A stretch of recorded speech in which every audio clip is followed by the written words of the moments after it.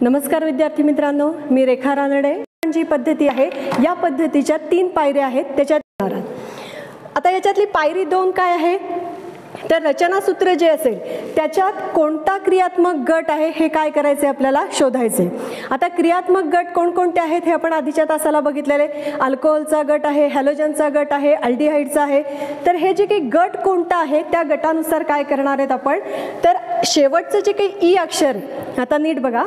आता इथे क्रियात्मक गट जे काही आपल्याला दिलेले आहेत याचं तुम्हाला संक्षिप्त नाव दिलेलं आहे. जर तुमचा क्रियात्मक गट अल्कोहोल असेल तर त्याचं शं संक्षिप्त नाव काय लिहायचं आहे ऑल असं लिहायचंय.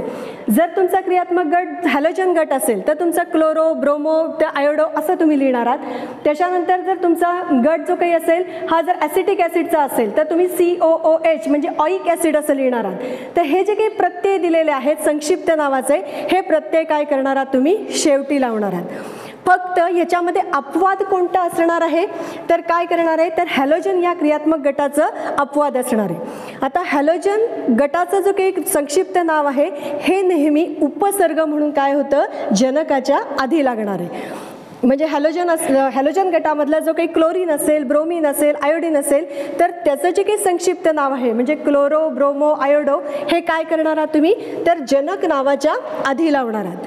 अशा पद्धतीने जे क्रियात्मक गट जो काही असेल या गटाचा प्रत्यय तुम्ही शेवटी लावणार आहात. म्हणजे जनक अल्केन आणि प्रत्यय. मग हे प्रत्यय तुम्हाला इथे दिलेले आहेत. ऑल दिलाय क्लोरो ब्रोमो हे इथे सगळे तुम्हाला काय दिलेले आहेत? प्रत्यय कोणता असेल हा तुम्हाला या तक्त्यामध्ये दिलेला आहे. त्या पद्धतीने तुम्ही काय करणार आहात नाव लिहिणार तर याचं उदाहरण जर आपल्याला बघायचं झालं तर समजा जर कार्बनची संख्या जर तीन आहे तर तो काय असणार आहे? प्रोपेन असणार आहे. तर आता हे प्रोपेनचं स्पेलिंग लिहिताना या शेवटचं जे काही ई अक्षर आहे या ईच्या अक्षराच्या ऐवजी जर ह्याला जर जोडलेला क्रियात्मक गट जर असेल तर अल्कोहोल असेल. तर इथे काय लिहिणार आहात तुम्ही? ऑल असं लिहायचे तर आता हा जो काही ऑल हा जो काही शब्द आहे हा लिहिल्यानंतर याचं जे काही अक्षर ज्याचं जे काही संयुगाचं नाव होणार आहे ते काय होणार आहे? तर प्रोपेनॉल होणार आहे. इथे उदाहरणामध्ये आपल्याला दिसतंय. तर त्याचं काय होणार आहे? प्रोपेनॉल असं आपल्याला न संयुगाचं नाव लिहिता येणार आहे. आता हे जे काही शेवटचं ई अक्षर आहे या ईच्या ऐवजी क्रियात्मक गट कोणता आहे तो लिहिणारा त्याचं संक्षिप्त नाव त्याचा प्रत्यय लिहायचा आहे. आणि जर हॅलोजन गट असेल तर तो कसा लिहिणार आहात? तर जनक अल्केनच्या आधी उपसर्ग म्हणून लिहिणार आहात. पायरी तीनमध्ये काय करणार आहात? तर कार्बन अणूंचं अंकन करायचे आता अंकन करायचे म्हणजे काय आहे? तर जी काही संयुगाची रचना दिलेली असेल त्या रचना सूत्रामध्ये किती कार्बनची संख्या आहे ही काय करायची आपल्याला? मोजायची. आता ही कार्बनची जी काही संख्या आहे ही तुम्ही कशी मोजणार आहात? त्याचं अंकन कसं देणार आहात? तर एका टोकाकडून दुसऱ्या टोकाकडे. म्हणजे इथे जर तुम्ही संयुगाची रचना बघितली तर एक दोन आणि तीन असं काय केलेलं आहे? अंकन केलेलं आहे. आता हे अंकन जे काही तुम्ही करणार आहात हे अंकन करताना सर्वात महत्त्वाची गोष्ट म्हणजे काय लक्षात ठेवायची? तर क्रियात्मक गट कोणता जोडलेला आहे तो. जर क्रियात्मक गट जर जोडलेला सी ओ एच किंवा सी एच ओ असा असेल लक्षात घ्या. क्रियात्मक गट सी एच ओ किंवा सी ओ ओ एच असा असेल तर ती जी काही कार्बनची जी काही संख्या आहे म्हणजे हा एक कार्बन असेल किंवा हा कार्बन तर ह्याला नेहमी काय करायचं? पहिला नंबर द्यायचा आहे म्हणजे ह्यांचं अंकन कसं करणार आहात तुम्ही? एकाने सुरुवात करणार आहात. आणि मग बाकी इतर जी काही कार्बन असतील ते कार्बनची संख्या तुम्ही काय करणार आहात? मोजायला सुरुवात करणार आहात. आता हे अंकन करताना जर क्रियात्मक गट हे दोन्हीपैकी कुठलेही नसतील म्हणजे सी एच ओ नसेल किंवा सी ओ एच असेल तर हे दोन्ही गट नसतील बाकी इतर क्रियात्मक गट जर असतील तर तुम्ही काय करणार आहात? अंकन हे दोन्ही दिशेने करू शकता. म्हणजे डाव्या बाजूने पण करू शकता आणि उजव्या बाजूने पण करू शकता. मग आता हे कसं अंकन होणार आहे?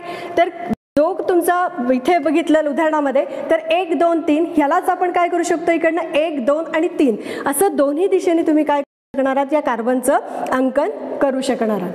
आता ज्या अंकनामुळे क्रियात्मक गट धारण करणाऱ्या कार्बन अणूला लहान अंक मिळेल तो अंकन काय करायचं आहे आपल्याला?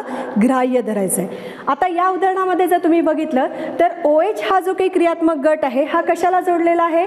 तर मधल्या कार्बनला जोडलेला आहे. म्हणजे जर आपण नंबरिंग केलं अंकन जर आपण केलं तर डावीकडून केलं तर एक दोन तीन. उजवीकडनं जरी केलं तरी एक दोन तीन. म्हणजे मध्ये जो काही नंबर येतोय हा कसा येतोय? दोनच येतोय. या खालच्या उदाहरणामध्ये जर तुम्ही बघितलं तर कार्बनचा हा जो काही क्लोरीन हा जो काही क्रियात्मक गट आहे हा कशाला जोडलेला आहे?